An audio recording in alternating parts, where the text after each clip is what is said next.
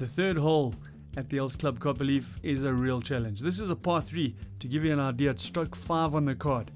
And it's got a nice big green. It's a really long for a par 3. For some of the shorter hitters, it might even be a par 3.5. 239 meters from the club tees. And uh, the green is surrounded with bunkers.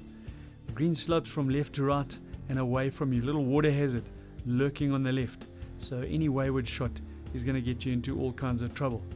But uh, for most golfers, it's going to be anything between a 5 iron and a 3 wood. For some of the shorter hitters, might be even going for the big driver.